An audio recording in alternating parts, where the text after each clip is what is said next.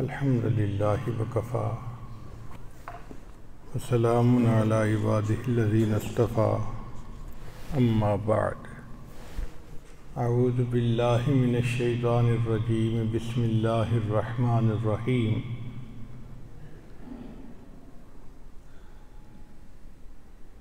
والذين آمنوا أشد حبا لله سبحان ربك رب العزة عما يصفون وسلام على المرسلين والحمد لله رب العالمين اللهم صل على سيدنا محمد وعلى آل سيدنا محمد وبارك وسلم. اللہ رب العزت نے اس دنیا کو اپنی قدرت کاملہ سے پیدا فرمایا ہے۔ چار طرح کی مخلوق ہے۔ جمادات نباتات، حیوانات اور انسان۔ اور ان تمام مخلوقات میں سب سے افضل اللہ نے انسان کو بنایا۔ علماء نے اس کی وجوہات بیان کی ہیں۔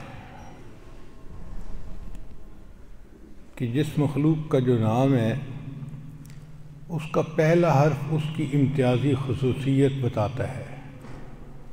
مثلا جمادات کے اندر جسامت ہوگی، جیم سے جسامت۔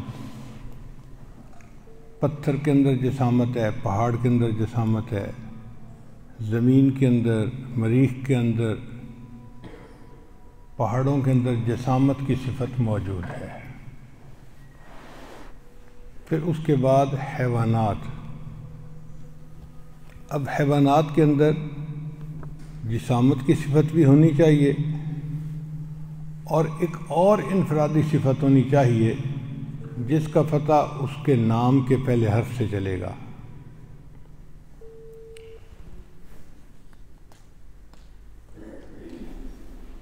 تو جمادات میں جسامت تھی، نباتات کے اندر بھی جسامت ہوتی ہے، مگر ایک اضافی صفت بھی ہے۔ وہ ہے نون سے نشو و نما۔ پتھر کو آپ ایک جگہ رکھیں، سال کے بعد دیکھیں تو اس کا وزن اتنا ہی ہوگا، جسامت اتنی ہوگی۔ پتھر میں بڑھنے کی صلاحیت نہیں ہے، لیکن نباتات کے اندر بڑھنے کی صلاحیت ہے۔ آپ ایک پودا لگائیں، آج پودا ہے، کل درخت بن جائے گا، اس کی جسامت بڑھتی رہے گی۔ تو اس وجہ سے نباتات، جمادات سے افضل ہوئیں کہ اس میں زیادہ خوبیاں ہیں۔ پھر نباتات سے افضل حیوانات۔ حیوانات میں پہلی دو صفتیں بھی ہونی چاہیے اور کوئی اضافی صفت بھی ہونی چاہیے۔ چنانچہ حیوانات کے اندر جسامت بھی ہے، نشو و نما بھی ہے اور تیسری صفت حیوانات کا لفظ ہا سے شروع ہوتا ہے تو ہا سے بنی حرکت۔ درخت کے اندر حرکت نہیں تھی۔ جس جگہ لگا ہے، دس سال کے بعد بھی وہ اسی جگہ لگا ہوگا۔ یہ نہیں ہو سکتا کہ درخت صبح اپنے صحن کے مشرق کی طرف لگا ہو اور مغرب کے وقت دیکھیں تو وہ مغرب کی طرف لگا ہوا۔ اس کے اندر حرکت نہیں ہے، ایک ہی جگہ کھڑا ہے۔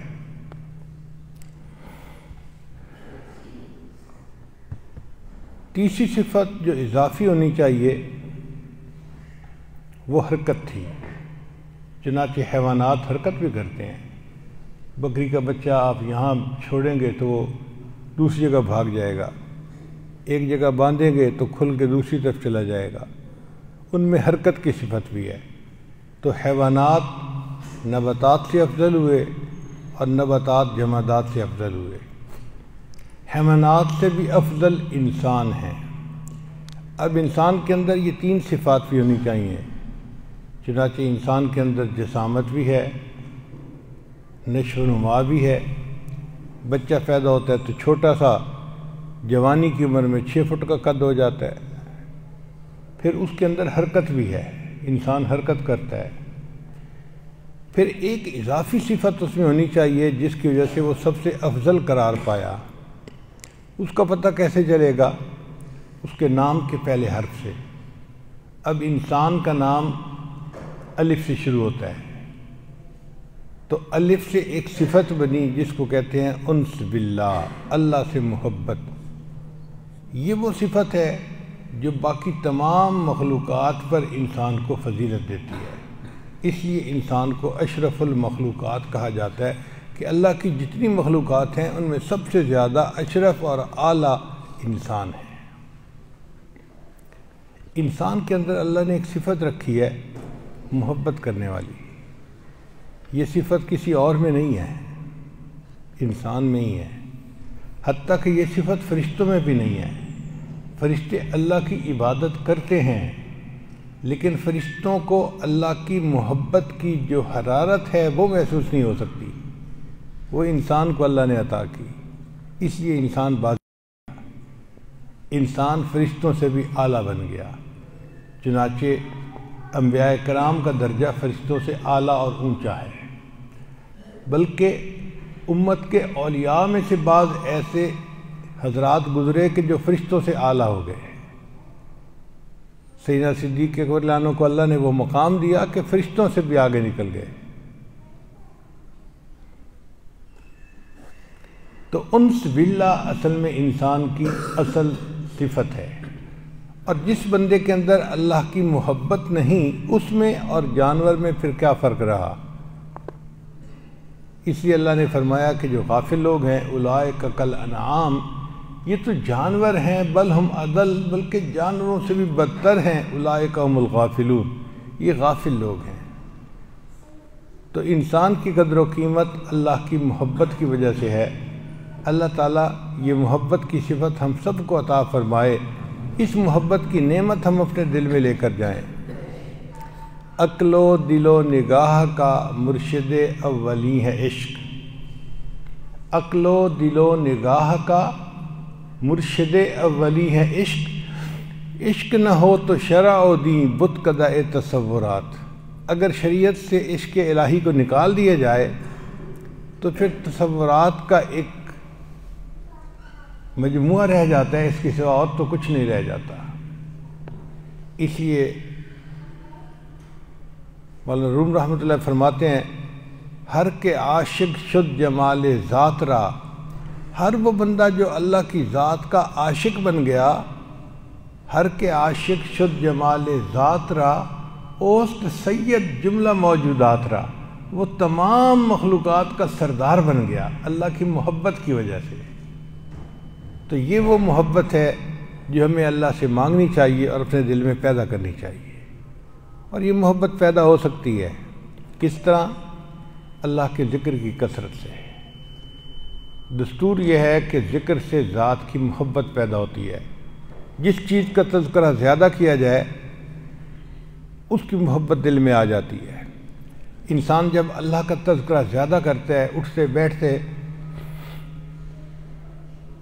اللہ کی باتیں کرتا ہے، اللہ کی باتیں سنتا ہے، تو اس کے دل میں پھر اللہ کی محبت بڑھ جاتی ہے۔ اس لیے اللہ والوں کو دیکھ کے اللہ یاد آتا ہے کیونکہ وہ اللہ ہی کی باتیں کرتے ہیں۔ ان کا چہرہ ہی انسان کو اللہ کی یاد دلا دیتا ہے۔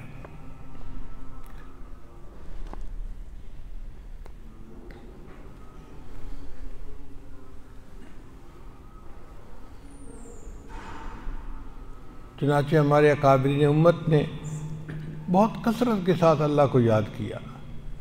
اللہ تعالیٰ کا ارشاد ہے، یا ایوہ الذین آمنوا اذکروا اللہ ذکرا کثیرا۔ اے ایمان والو، اللہ کا ذکر کثرت کے ساتھ کرو۔ تو اللہ تعالیٰ نے بھی ذکر کو کثرت کے ساتھ کرنے کا حکم دیا۔ اب جب اللہ کا ذکر کثرت کے ساتھ کریں گے، تو یقیناً دل میں اللہ کی محبت آ جائے گی۔ محبت کے میدان میں یہ بات ذہن میں رکھ لیجیے کہ اللہ تعالیٰ کے ہاں بندے کی محبت پہلے پیدا ہوتی ہے۔ پھر بندے کے دل میں اللہ کی محبت پیدا ہوتی ہے۔ یحبہم و یحبونہو۔ اللہ فرماتے ہیں کہ وہ ایسے بندے ہوں گے، اللہ ان سے محبت کریں گے اور وہ اللہ سے محبت کریں گے۔ یعنی بندہ جو اللہ سے محبت کرتا ہے نا، یہ عکس ہوتا ہے اس محبت کا جو اللہ کو بندے کے ساتھ ہوتی ہے۔ اس کے بغیر بندے کے دل میں اللہ کی محبت پیدا نہیں ہو سکتی۔ دنیا کی محبت جو چاہے کرے، میدان کھلا ہے۔ اللہ کی محبت ہر کوئی نہیں پا سکتا۔ وہی پائے گا جس کو اللہ چاہیں گے۔ اللہ پسند کرتے ہیں، بندے کے دل میں محبت کا بیج ڈال دیتے ہیں۔ پھر بندہ اپنے اللہ سے محبت کرنے والا بن جاتا ہے۔ یہ اللہ تعالیٰ کی طرف سے ایک انعام ہے جو بندے کو نصیب ہوتا ہے۔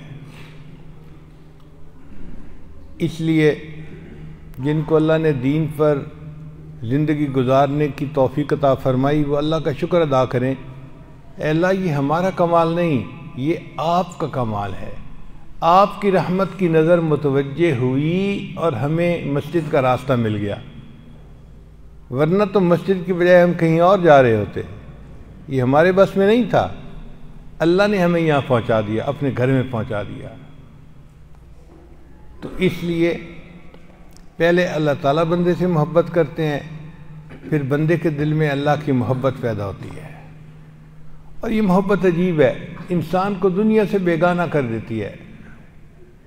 دو عالم سے کرتی ہے بیگانہ دل کو، عجب چیز ہے لذت آشنائی۔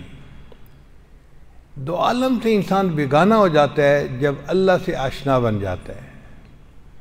چنانچہ دنیا کا غم اور دنیا کے حزن اس کے نظر میں کچھ اہمیت ہی نہیں رکھتے۔ اس لیے اللہ نے فرمایا اللہ ان اولیاء اللہ لا خوف علیہم ولاحم یحزنون اللہ دینا آمن وکانو یتقون۔ دیکھا، جو لوگ ایمان لائے اور تقوی کی زندگی گزاری، یہ اللہ کے اولیاء، ان کو نہ کوئی غم ہے، نہ کوئی حزن ہے۔ خوف کہتے ہیں، باہر سے جو ہو۔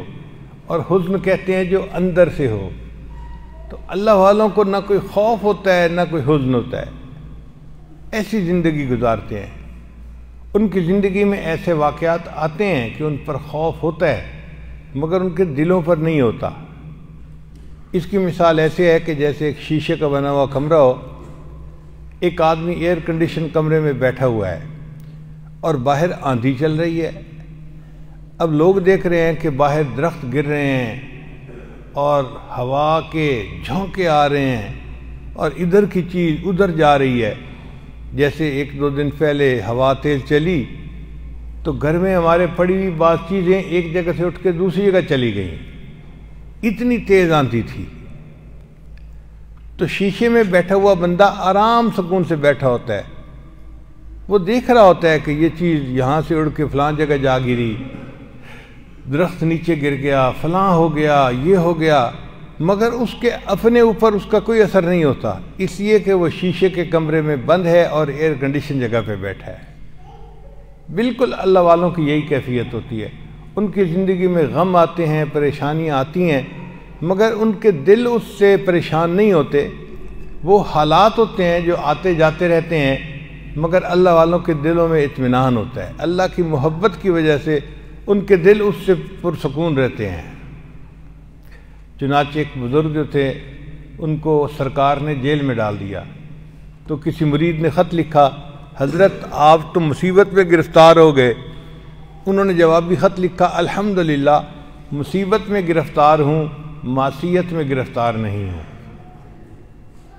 جیل میں بھی اللہ کا شکر ادا کر رہے ہیں کہ اللہ تعالیٰ نے مجھے اپنی بندگی والی زندگی عطا فرمائی ہے۔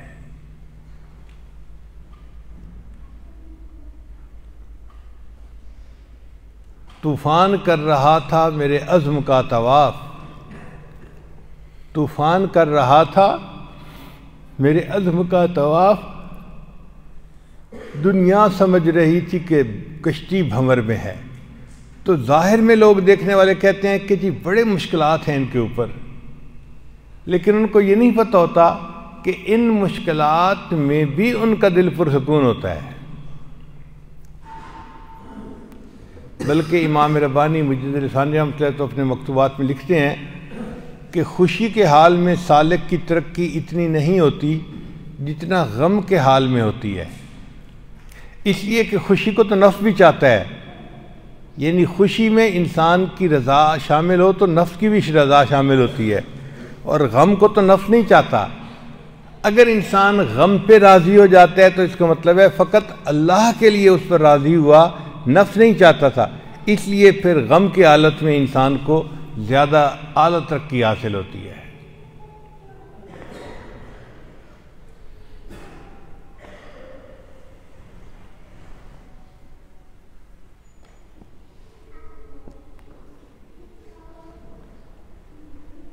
بلکہ امام ربانی مجد ثانیہ رحمۃ اللہ لکھتے ہیں کہ غم کی حالت میں انسان کو اللہ کا قرب جلدی نصیب ہوتا ہے۔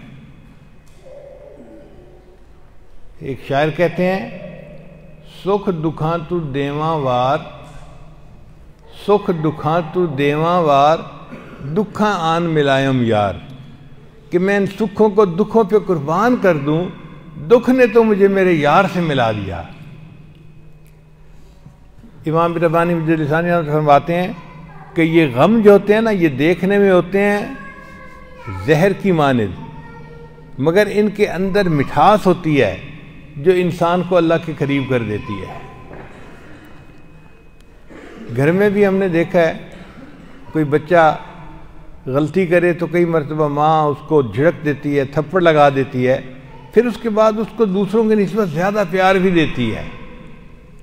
کیونکہ وہ محسوس کرتی ہے کہ میں نے بچے کے اوپر سختی کی، اب اس بچے کو محبت کی زیادہ ضرورت ہے۔ اللہ رب العزت کا بھی یہی معاملہ ہے کہ بندے کے اوپر حالات تو بھیجتے ہیں اور مشکل حالات ہوتے ہیں۔ مگر اس کے بعد اللہ تعالیٰ کی رحمت کی بھی نظر زیادہ ہوتی ہے اس بندے کے اوپر کہ میں نے اس بندے کو مشکل میں ڈالا، آزمائش میں ڈالا۔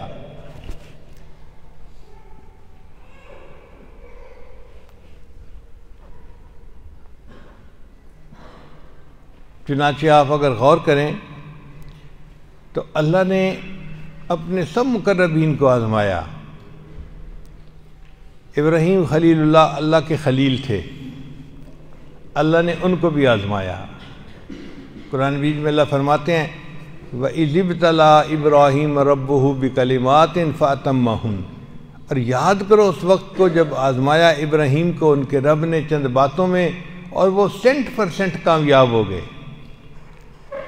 اب ان باتوں میں کیا آزمایا؟ ایک تو اللہ نے امتحان لیا۔ کہ اپنی فیملی کو چھوڑ آئیے مکہ مکرمہ۔ رہنے والے تھے عراق کے۔ اور اپنی بیوی اور چھوٹے دودھ پیتے بچے کو ساتھ لیا اور عراق سے چل کر مکہ مکرمہ بیت اللہ کے پاس پہنچے اور بیوی اور بچے کو وہاں چھوڑ کر آ گئے۔ نہ کوئی ہوٹل ہے، نہ کوئی عمارت ہے، نہ کوئی بندہ ہے جو ان کی مہمان نوازی کر سکے یا ان کو کمپنی دے سکے۔ ایک بیابان سی جگہ ہے جہاں پانی بھی نہیں۔ اب تھوڑا سا سامان باقی تھا۔ جب بیوی بچے کو چھوڑ کے آ گئے، تو دل میں محبت تو بہرحال ایک فطری چیز ہے نا۔ پہاڑ کی دوسری سائڈ پر آئے، تو وہاں کھڑے ہو کے دعا مانگے۔ رب انی اسکنت من ذریتی۔ بواد غیر ذی زرعن عند بیتک المحرم۔ ربنا لیقیم الصلاة. فجعل افدتا من الناس تحوی الیہم ورزقهم من الثمرات لعلہم یشکرون اللہ رب العزت نے دعا قبول فرما لی مگر بڑی قربانی تھی۔ ہم لوگ دوسرے شہر میں ہونا اور گھر میں بیوی بچے محفوظ ہوتے ہیں اور بند کمرے کے اندر ہوتے ہیں اور کھانے پینے کی ہر چیز موجود ہوتی ہے۔ پھر بھی دل میں فکر ہوتی ہے جی گھر میں کوئی نہیں ہے۔ فکر رہتی ہے۔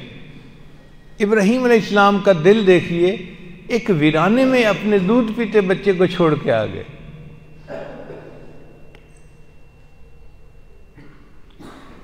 پھر ایک وقت آیا کہ اللہ تعالیٰ نے اس سے بھی بڑا امتحان لیا۔ وہ امتحان کیا تھا کہ جب اسماعیل علیہ السلام بھاگنے دوڑنے کی عمر کو پہنچ گئے، جس کو پانچ چھ سال کی عمر کہتے ہیں، جب بچہ دوڑتا بھاگتا ہے۔ اس عمر میں بچہ زیادہ پیارا لگتا ہے، چونکہ معصوم بھی ہوتا ہے، باتیں بھی کرتا ہے، محبت کا اظہار بھی کرتا ہے، تو دل کے زیادہ قریب ہو جاتا ہے۔ چنانچہ اللہ تعالیٰ نے ابراہیم علیہ السلام کو حکم فرمایا کہ آپ اپنے اس بچے کو میرے نام پر قربان کر دیجیے۔ تو ابراہیم علیہ السلام اٹھے اور اسماعیل علیہ السلام کو بتا دیا کہ بیٹے، میں نے خواب دیکھا ہے اور انبیاء کے خواب چونکہ سچے ہوتے ہیں، یہ بتانا مقصد تھا کہ مجھے یہ حکم ہوا ہے کہ میں تجھے اللہ کے نام پہ قربان کروں۔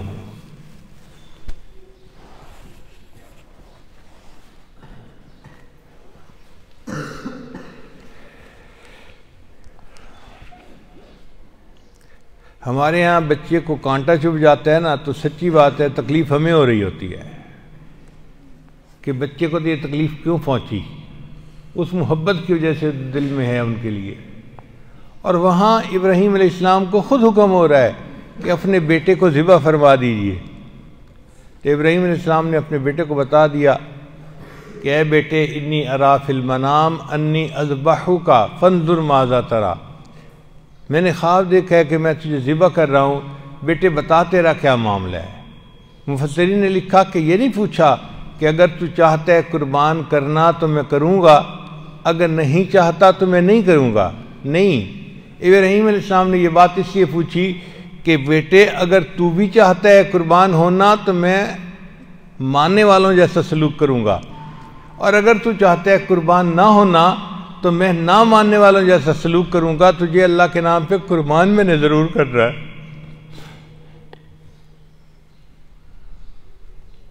چنانچہ ابراہیم علیہ السلام نے اپنے بیٹے سے فرمایا کہ نہا دھو لو، میں نے آج ایک بڑے سے تمہاری ملاقات کروانی ہے۔ چنانچہ بی بی حاجرہ نے اپنے بیٹے کو نہلا دیا، اچھے کپڑے پہنا دیے اور اسماعیل علیہ السلام اپنے والد کے ساتھ چل پڑے۔ کہ میں بڑے کی ملاقات کے لیے جا رہا ہوں۔